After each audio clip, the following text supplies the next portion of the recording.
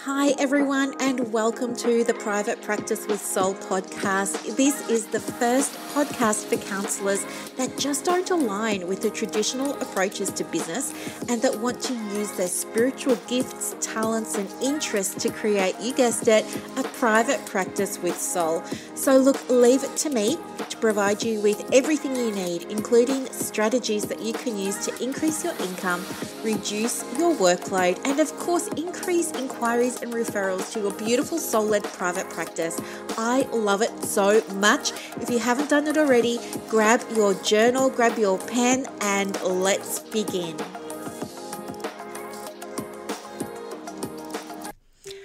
Hello, hello. Happy Wednesday. I'm just going to close down my Facebook so we don't get any notifications. There we go. All done. How are you?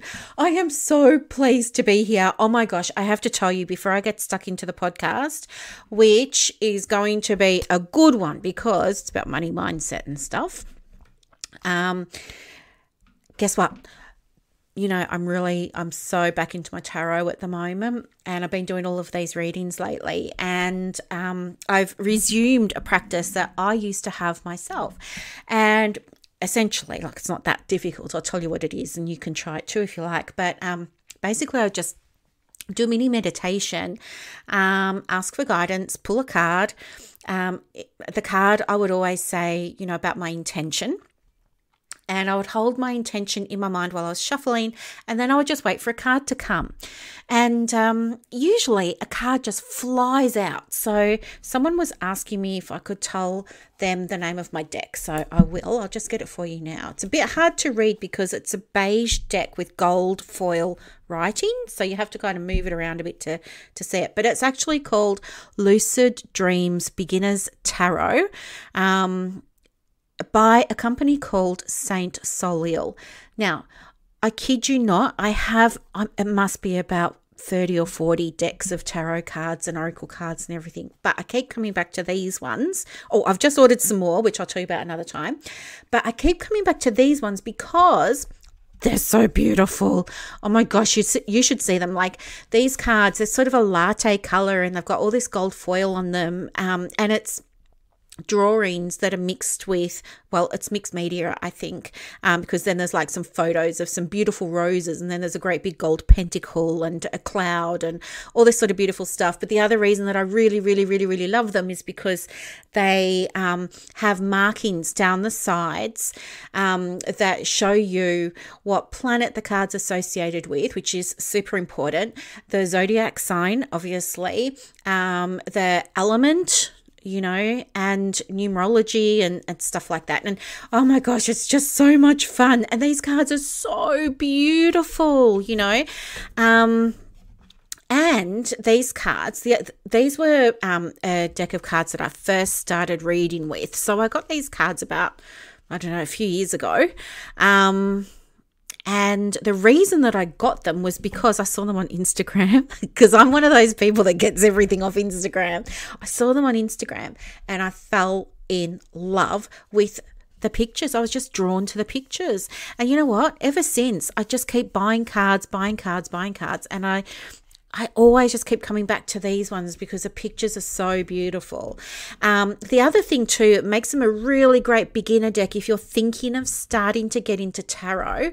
Um, these are a really great deck for you because they also have a few keywords on the top and the bottom, um, which when you're first learning are really, really, really, really helpful because let's face it, there's 78 cards that you kind of got to memorize ish um, before you can then start putting your own spin on things and, and really making it your own, you know.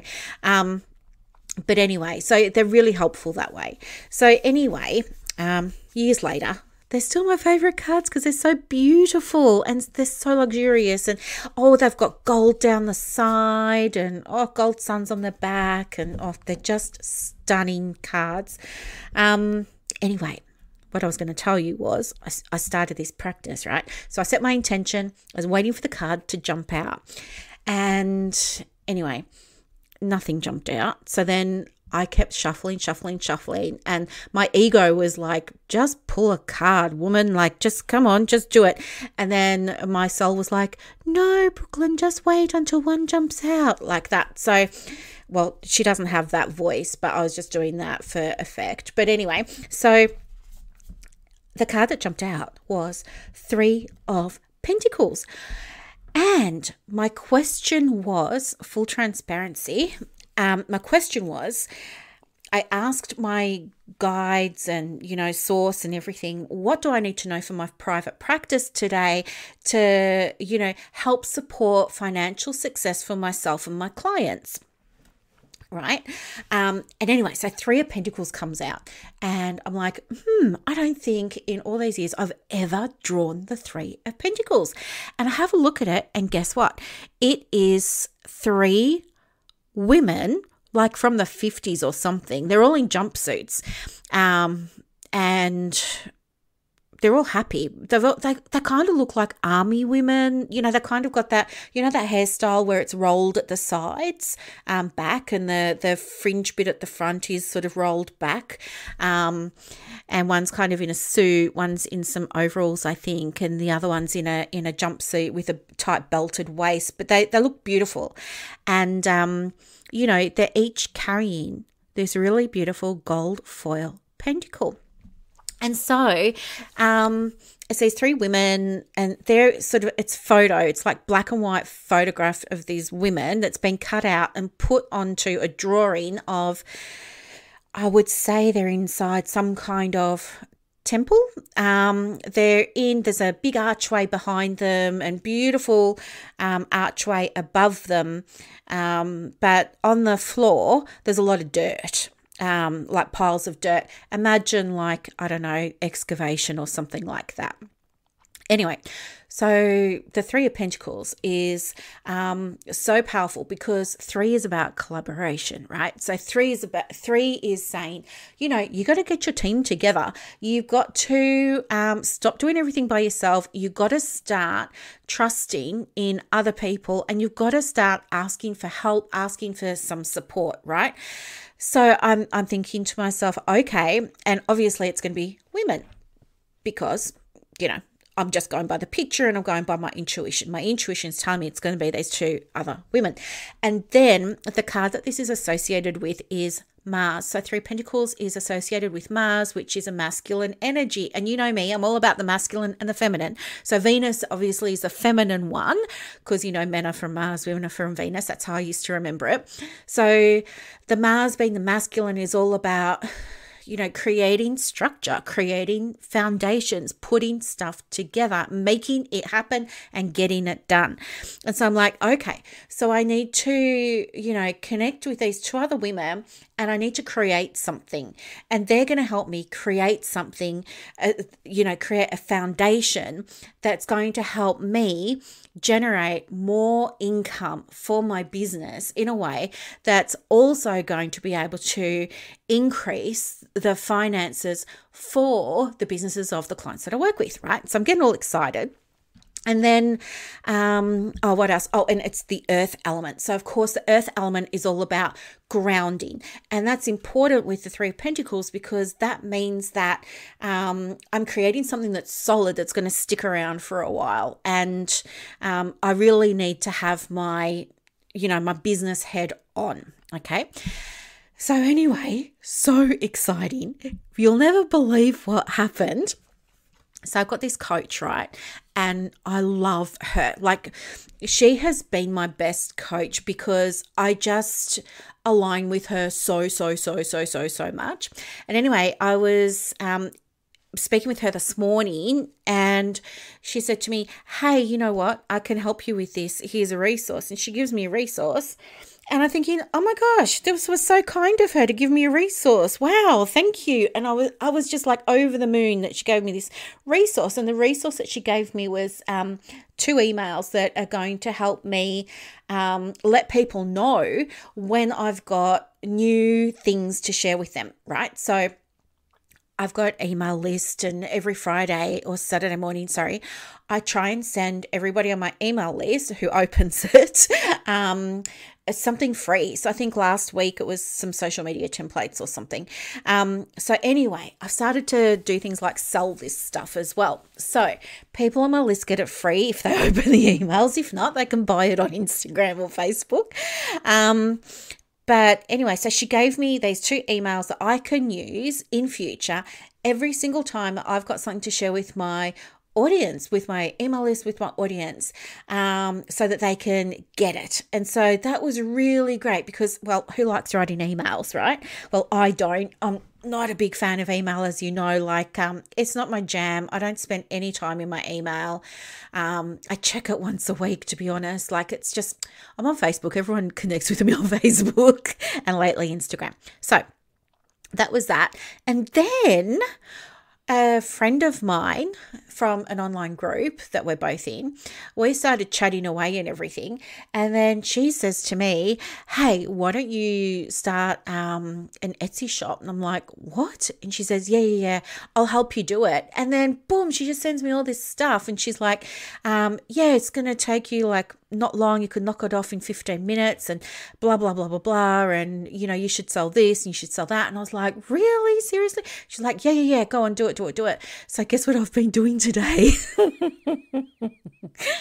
I'm opening an Etsy shop. and I just thought it was so funny because I was getting ready for this podcast, you see, and I'm looking. So it's um, Tuesday today. You're listening to it on Wednesday, which is the next day. Um, but anyway, when I was getting my microphone and everything ready to record for you today, um, I saw my card again, the Three of Pentacles, and I thought, oh my gosh, that's my coach and my friend. And they've both helped me. Like, and it's us three women, and we're, you know, I'm allowing myself to receive, and they're happily helping me. And it feels weird getting helped. Um, you know, it's just it's so strange when somebody wants to help you like and there's there's no um strings attached. And so anyway i have just loved today so so so so much. I've just been oh my gosh i can't tell you what i'm creating because i want to give it to my um, clients on demand members first. Um, because I want to check it with them and make sure. Like, I love to test things before I take them to market. So, anyway, yeah, I'm setting up this Etsy shop and um, I, I really feel like this is great because it is going to help me create this extra level of income for my private practice and as i'm creating the content for the etsy shop i'll be giving it to um, you know some of my memberships and some of my uh, the students in my courses um, and it's going to help them call in more money for their practices as well so that's the power of a tarot card when you know what you're doing. So, um, yeah, I had to share that with you because I knew that you would appreciate that. Um, and it's just so much fun, right? It's so much fun. Um, I'm actually doing some private practice business readings um, using tarot for uh, people who join the mini membership with me, my Success Hub. Um, so, yeah, I'm giving away a bunch of those at the moment for newbies when they join. Um, and yeah, I think there's also like a whole bunch of people who've already booked them. Um, so they will all get their readings in the next two or three weeks. And I can't wait to do them. I feel like I need to take a day or two off work so that I can just focus on getting the readings done. But anyway, that's not what I'm here to talk about today. I just wanted to share that with you because it's, it's like put me in the best mood. You know, the cards are awesome. Okay, so, and you can use them for business, obviously.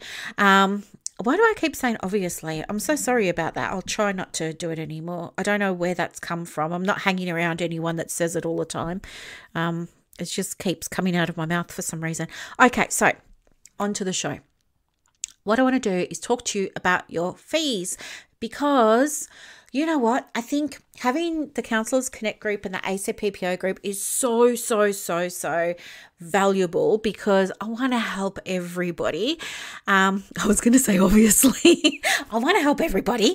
And one of the things that I hear in both of these groups sometimes is, you know, fear about the fees and, you know, people thinking, if I charge this much, I'm not going to get any clients. And, you know, um, I do okay when I'm marketing, but then when somebody finds out about my fee, they ghost me or they go AWOL or, you know, whatever. So here's the thing I want you to know the reason that people are not booking in is nothing to do with your fee. Let me say that again. The reason people are not booking in with you has nothing to do with your fee. Now, of course, there's always going to be a percentage of people in the community that can't afford your fee, but they're not the ones that you're attracting to your practice, right? Especially if you've already got your fees on your website, which I highly recommend you do because it not having your fees on your website just feels a little bit suspicious. Um, you know, I think it just my own hypothesis here, but if I was choosing a counselor and I could see the fees on one, but the other one was hiding the fees, I'm probably going to call the one that I know how much she's going to charge. um, and I just wonder how many of your clients are probably doing the same thing like if you're not comfortable with your fees we need to sort that out so that you can get to a place where you are comfortable enough to let the public know what you're going to be charging um, so that's the first thing the second thing is um, you need to understand, I guess, how to market the practice. So if you're getting on the phone with potential clients and, you know, the whole call is going really well and you're connecting and, you know, you're enthusiastic and you feel this person's a great match. Um, and then you say the fee and they say, nah, it's out of my price range. I'm not going to do it.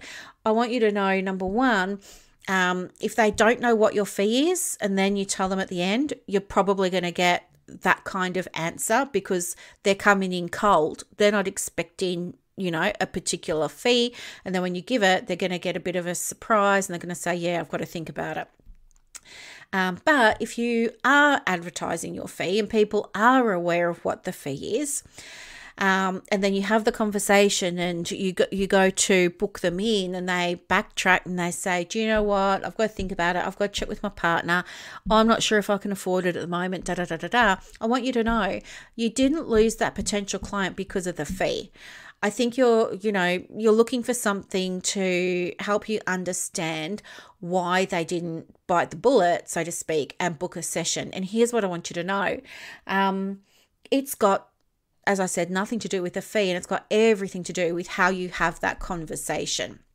I'll tell you what I know to be true, and that is, um, you know, like I can only speak for our group. So I've got, um, I'm just thinking now, I've got the Success Hub, the Inner Circle, Clients on Demand, the ACPPO, and Counselors Connect. I think there's between seven and 8,000 members now across all of those groups. And what was I going to say?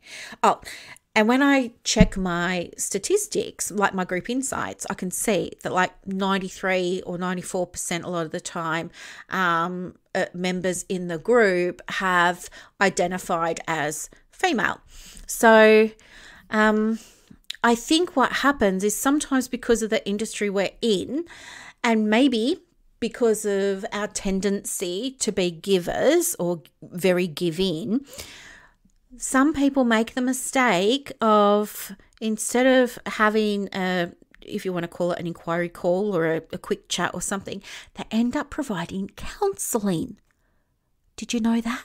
Like they end up actually providing counseling. And do you know what? It's not their fault. It's that nobody ever taught them how to do these inquiry calls.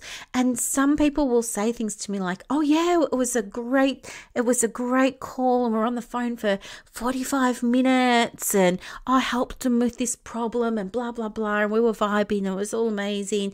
And then I said to her, "You know, would you like to book in?" She said, "No, I feel great. I'll come back when I'm ready." And she still hasn't booked in Brooklyn and what did I do wrong? And I'm sure it's because of my fee. It's not because of the fee. It's because you it's because you gave a away a free counseling session.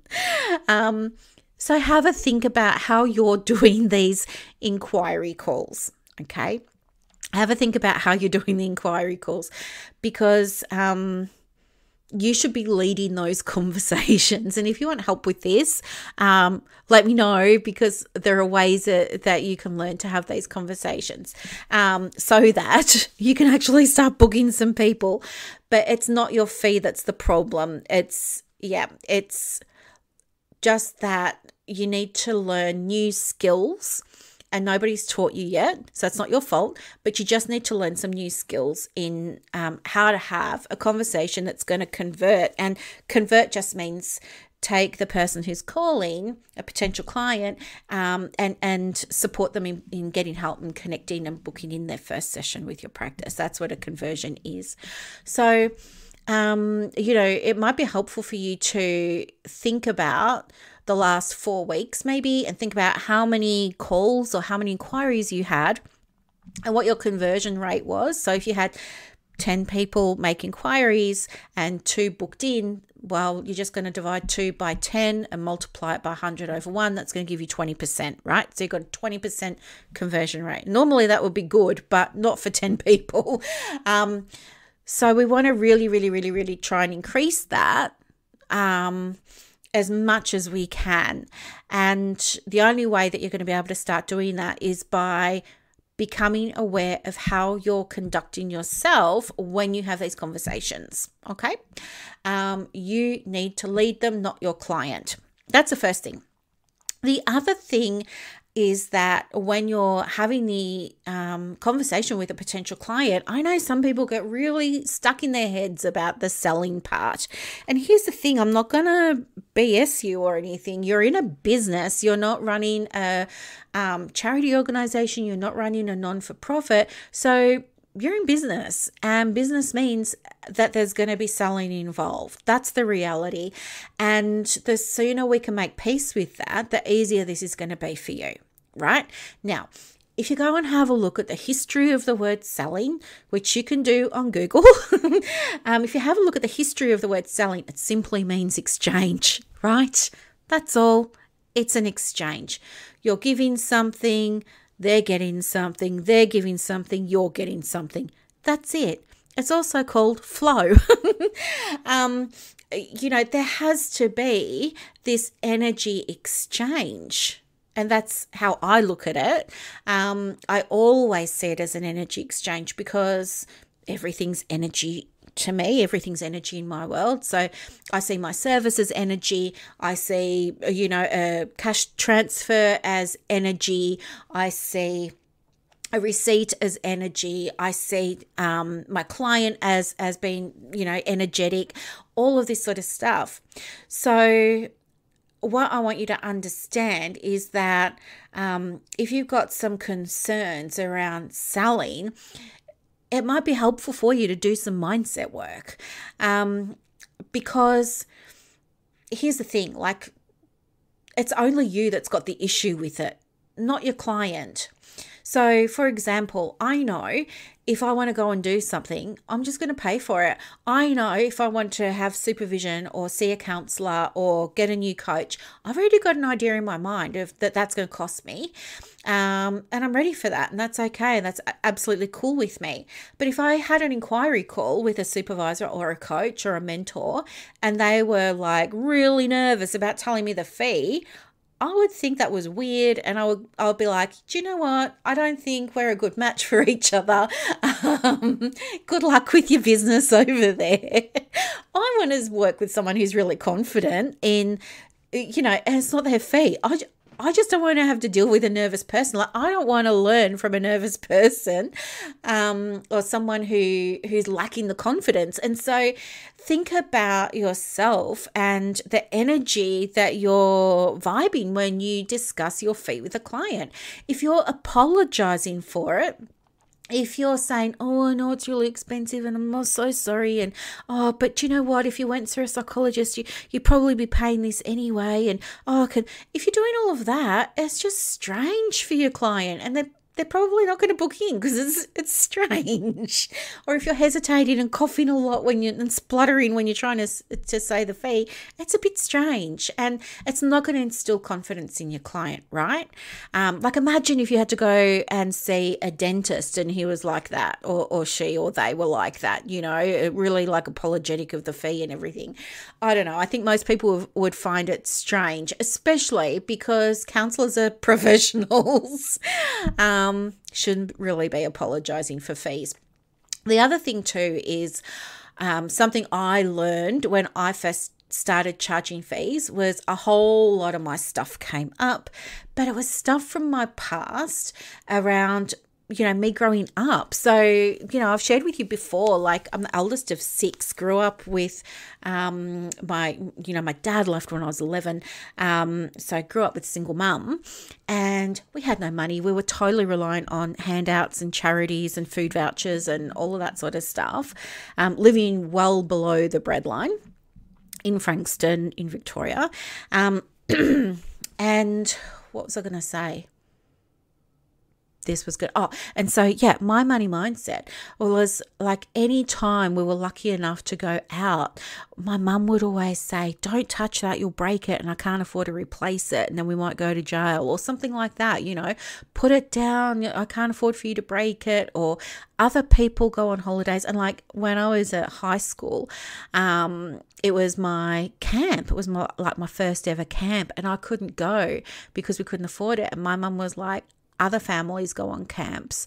We don't, you know. And I, I wasn't even allowed to stay home. Like I had to go to school by myself and go in a class lower than me for that whole week, which was just humiliating.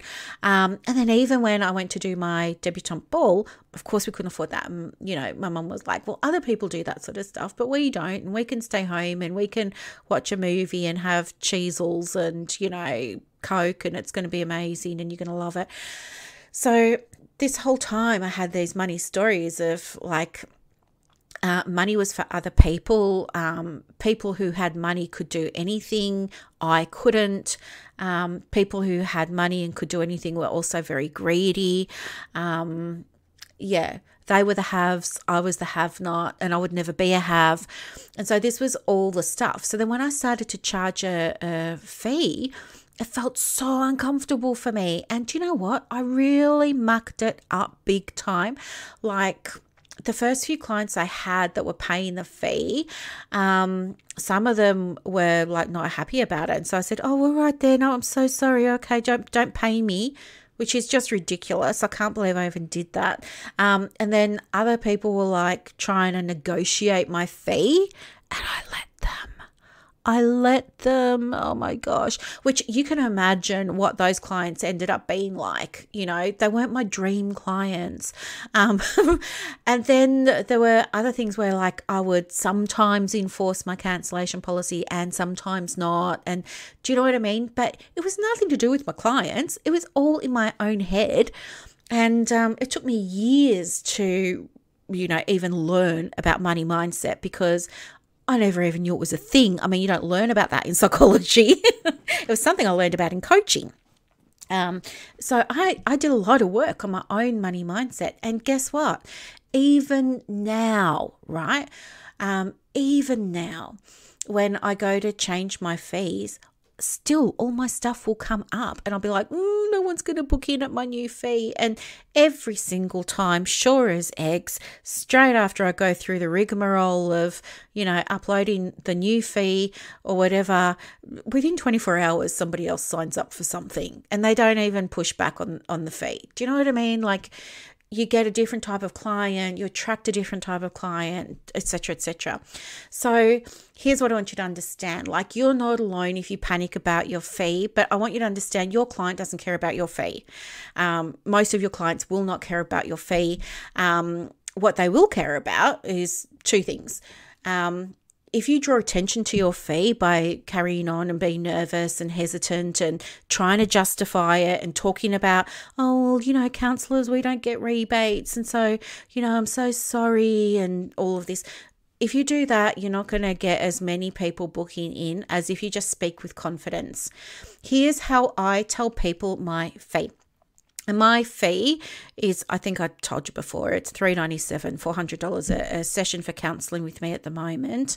Um, and all I do is I'm just I'm so detached from my fee. I just if there's an inquiry, I get them to fill out like a form, and on that form it says it gets them to say yes or no. It says this is my counseling fee. Are you aware of that? Yes or no? is this something that's, you know, affordable for you at the moment? Or do you need a referral to somewhere else? Option one or option two? Do you know what I mean? So I they're all qualified before they come through. So the money stuff has already been handled. Um, so there's no big shock for them. They already know I'm going to charge $400. Um, and the purpose of the call really for them is they already know me. Um, they've already seen me on social media uh, or read my emails or been in a membership of mine or something like that. And they already know what my fee is. So the whole purpose is really like, how do we get started? So there is no selling involved. Does that make sense? So, at the beginning of this podcast, I was sharing with you if you're in business, you're going to be selling. Selling simply means an exchange, right? And here, by using an intake form, um, like you know, setting it up similarly to the way that I do, clients know before they book that call, yes, there's going to be a fee. No, there's no discounts. No, there's no concessions. This is what it is. This is my expectation. Like, even on my, um, what do I want to say? The mentoring and supervision, right? That's 360 plus GST, which is $400 a session. And on my application form, it says, Are you aware it's $360? Yes or no? Are you okay with that? Yes or no? um, and the other thing that it says is, Are you aware that there's a commitment of time to work with me? Yes or no? And is this something that you're okay with? Yes or no? So when they come through, the, there's nothing to sell, they're already sold, right? This is what I want you to to know. you when it comes to like this idea of selling, you are not convincing anyone. You're not doing anything you shouldn't be doing. You're not forcing anyone. You're not pushing anyone. No, you're not doing any of that. What your marketing does, if you're doing your marketing well, which you probably are if you're getting inquiries, let's be honest, your marketing is doing the selling for you right? Every time you post a photo, that's marketing. Every time you share a post, that's marketing. But hey, guess what? There are other things that you do online that you might not have thought were marketing. For example, every time you leave a comment in a Facebook group that might not be very nice, that's marketing. Other people are going to see that not very nice comment and they're going to say, hmm, she's a coach, she's a supervisor, she's a mentor, better not work with her. So be mindful, and that stuff can't be erased, right? Once it's online, it's online forever. So be mindful that your marketing is more than what you post, um, you know, what you schedule to Facebook or Canva or Hootsuite for your posts. Everything you put on your social is marketing. Now, um, my advice is to just be real, just be yourself. And if that makes you uncomfortable, then the other piece of advice that I have would be always speak from your soul. Whether you're doing a post, a podcast, a YouTube clip, an email, whatever, always speak from your soul. Allow yourself a moment before you put your beautiful little fingers on the keyboard. um, you know, give yourself that time to really tune in and ask yourself, you know, if I'm writing from my soul today, what is my soul wanting to share with the world? What's my soul wanting to share with my clients? That is your marketing. Step two, um, head over to your website today and check that your fees are on it. Step three, set up an inquiry intake form, right? super simple.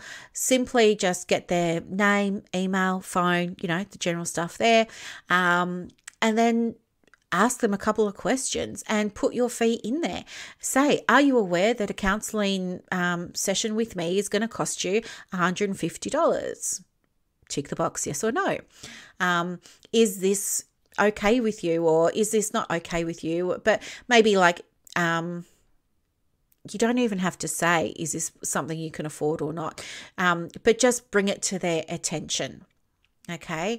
Um, one of the other questions I have is if everything goes well on our call today, are you happy to put down a deposit to get started with your counseling or this or that? You know, if you're selling packages, for example. So you can ask that question as well. And what that does is it lets them know that you're serious, you're not mucking around, um, your time's precious and valuable, um, all those sorts of things, you know. And then if they tick the box and they say, yes, 150 is fine with me, yes, I can put down a deposit today, or yes, I can, you know, pay for my first session or whatever you you do with your business write that down then there's nothing for you to sell on the call, right? The call is just a matter of you confirming everything that the person's put in their intake form and then send them on the path to the next steps, which is getting started. They've already said they want to work with you. They've already said that um, they're well aware of the price and they've already said that they can pay that deposit. So book them in. There's no selling, okay? So that's the really big thing that I want you to understand um, today.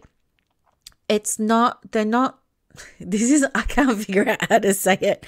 Your fee is not the reason people aren't booking in. It's how you're presenting your fee, and it's because you're not qualifying people before they um, book in with you.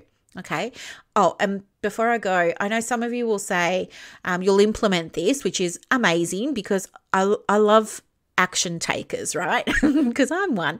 Um, but I know that you're probably going to, some of you will say, oh gosh, Brooklyn, you know what? Since I did this, since I put my fee on my website, and since I asked the question about the fees in my intake form, I've had less people coming through. Do you know what? That's not bad. That's actually a good thing because you've saved yourself how many 45 minute sessions that weren't going to go anywhere, right? That's a good thing. It means that the people who do connect with you do want to work with you and are ready to book in. Okay. So, yes, you may get fewer inquiries because it's filtering out, it's weeding out people who, you know, might not be the best match for your practice. Okay. And it's going to save you lots of time, lots of energy. And imagine how energized you're going to feel when you get to talk to clients who actually want to work with you, right? Amazing. Okay, so that's all I've got to share with you today. um, if you have any requests for podcasts, I'm always open to ideas. You know, someone was saying to me recently, um, You're a machine. How do you keep coming up with all these ideas for content creation? But I don't know, like, I just do. so, yeah, but if you've got anything that you would like me to speak to or give you some help with, I'm more than happy to do that. So, I hope that this was super duper helpful. Um, have an amazing day. Um, yeah, if you want to grab some free templates, you can. Um, if you jump into the Private Practice Success Hub, um, you can go and grab them. And the other thing, too, is so many people are purchasing the fully booked private practice planner. That's $9. And um, if you would like to have a look at that, let me know. Like, just let me know on Instagram or Facebook, um, and I can send you the link to that. But it's a um, planner that helps you boost your visibility so that you can get these types of clients contacting you um, and, and booking into your diary. Okay. Anyway, I hope all of this helps. I love, love, love, love, love um, being helpful uh, for you because I know what it's like to be where you are. Um, and I want to see you have results. That's my big thing. All right. Have a beautiful, beautiful, beautiful, beautiful Wednesday. And I will talk to you again in the next episode, which should be on Saturday. Okay. Bye. I hope that you loved this episode as much as I loved putting it together for you. To get more resources to help you in your private practice, head over to Instagram. My handle is at the private practice coach. And also, if you want more inquiries and referrals for your business, let me know. I have a program called Clients on Demand that opens every quarter, and I can absolutely get you some information for that as well. You are doing an amazing job. Thank you for sharing your gifts with the world. Bye.